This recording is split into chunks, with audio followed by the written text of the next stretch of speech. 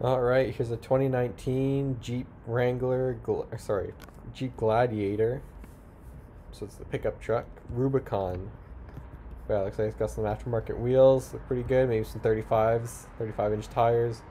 15,000 kilometers on this. Oh, it's got some nice mud terrains on here.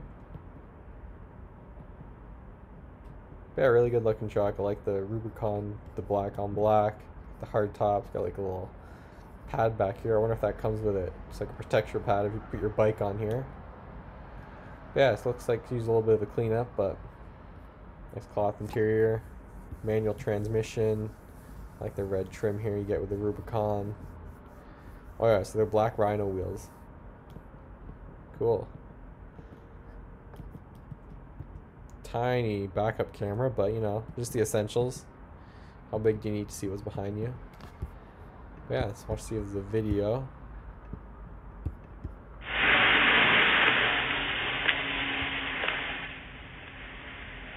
Just a quick little walk around. I wonder if they're including that. I guess.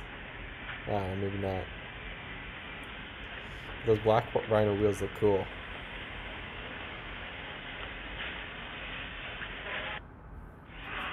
Hmm.